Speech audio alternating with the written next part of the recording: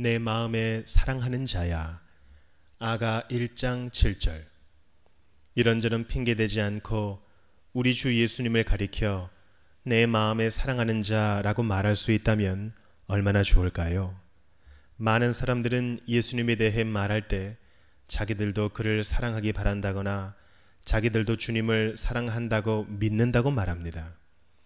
그러나 이것은 그만큼 주님과 깊은 사랑의 교제를 나누지 못했다는 뜻입니다.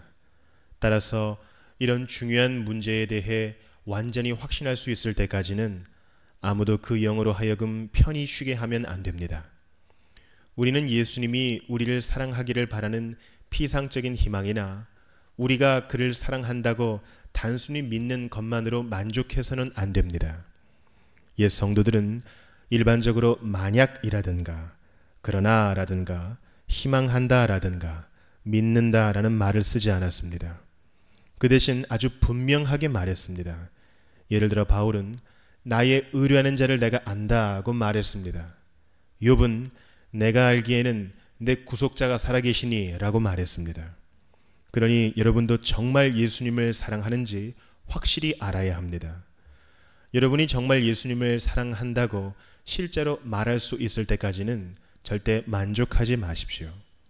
여러분은 그것을 성령의 증거를 받음으로 이미 확신했으며 믿음으로 그의 인치심을 여러분 영혼에 받았습니다.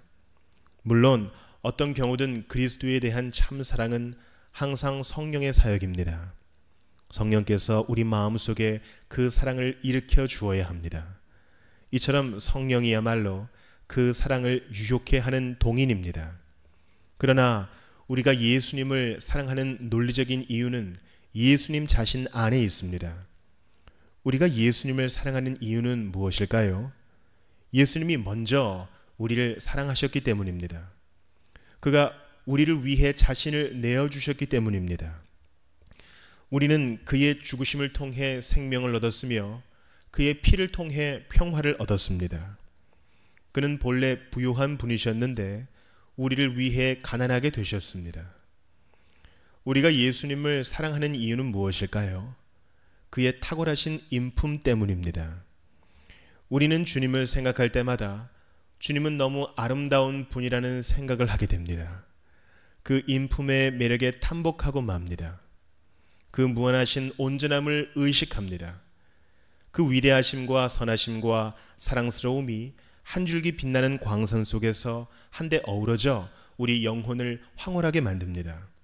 너무 황홀한 나머지 그는 전체가 아름답구나 라고 외치게 됩니다. 이 사랑, 실크보다 더 부드럽고 다이아몬드보다 더 단단한 사슬로 우리 마음을 묶는 이 사랑은 정말 복된 사랑입니다.